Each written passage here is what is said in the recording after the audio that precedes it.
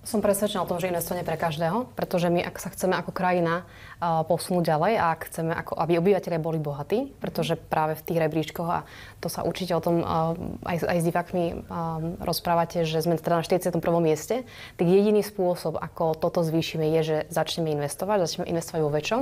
No a tie sumy sú aj 15 eur mesačne aj, aj 30 eur mesačne. Uh-huh. Čiže keď, eh, ja neviem, pracujem práve s tým študentom počas vysokej školy alebo niekto, kto skončil strednú školu, začal pracovať, podľa mňa je nevyhnutné začať čo najskôr.